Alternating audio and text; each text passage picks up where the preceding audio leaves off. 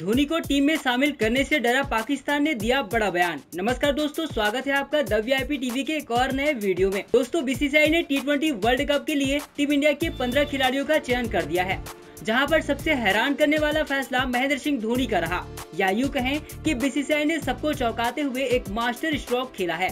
Team India को world cup जिताने के लिए। लेकिन आपको बता दें, धोनी के टीम में शामिल होते ही विरोधी टीम पाकिस्तान काफ़ी डरा हुआ है और धोनी को टीम में शामिल करने को लेकर अपना डर भी ज़ाहिर किया है।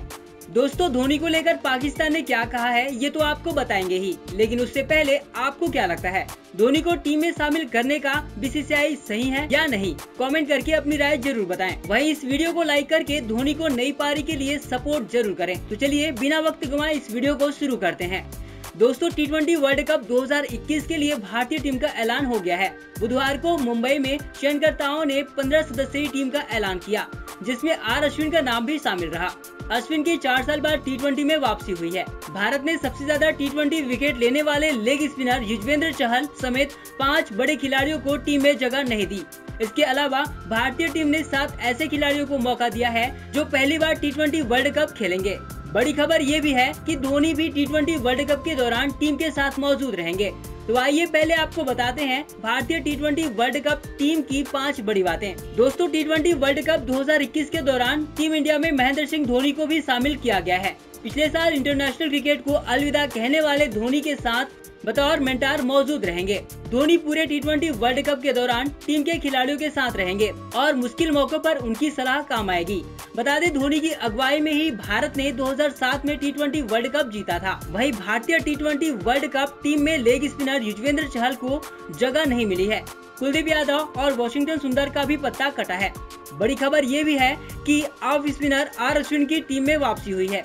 अश्विन पिछले चार सालों से भारत के लिए टी मैच नहीं खेले हैं। लेकिन उनके अनुभव को देखते हुए चयनकर्ताओं ने उन पर दाव खेला है। वही भारतीय टीम में शिखर धवन, पृथ्वी शाह को मौका नहीं मिला है। यही नहीं, कुणाल पांडे को भी नजरअंदाज किया गया। वही दीपक चाहर श्रेयस अय्यर और सरदुल ठाकुर भी पंद्रह सदस्यीय टीम में जगह नहीं बना सके।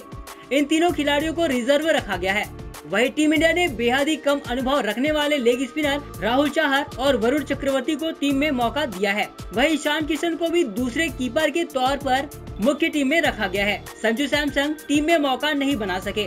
भारत के सात खिलाड़ी पहली बार टी वर्ल्ड कप खेलेंगे, जिसमें की एल राहुल सूर्य कुमार यादव, ऋषभ पंत, ईशान किशन वरुण चक्रवर्ती, अक्षर पटेल और राहुल चाहर शामिल हैं। वही दोस्तों बीसीसीआई ने धोनी को टीम में चुनकर सबको चौंका दिया है। खासकर विरोधी टीम तो हैरान हो गई है। टी वर्ल्ड कप में महेंद्र सिंह धोनी का अनुभव टीम इंडिया के बहुत काम आने वाला है। टी क्रिकेट की बात करें तो धोनी ने अंठानवे टी इंटरनेशनल और 211 आईपीएल मैच खेले हैं। धोनी ने इन सभी मुकाबलों में विकेट कीपिंग की है। बतौर कप्तान, उनके अनुभव की कोई कीमत नहीं। मैच कब, कहाँ और कैसे करवट बदल सकता है, ये धोनी से ज़्यादा शायद ही कोई क्रिकेटर जानता हो। टी ट्वेंटी वर्ल्ड कप में धोनी अपने अनुभव के दम पर ही टीम इंडिया को चैंपियन बना सकते हैं। यही वजह है कि पाकिस्तान धोनी के आने से काफ़ी डरा हुआ है। पाकिस्तान ने कहा, धोनी मैच खेले या ना खेले, उसका टीम में रहना ही दूसरे टीम के लिए खतरा है। तो दोस्तों, आप समझ सकते हैं धोनी के आने से टीम इंडिया को कितना फ़ायदा होने वाला है।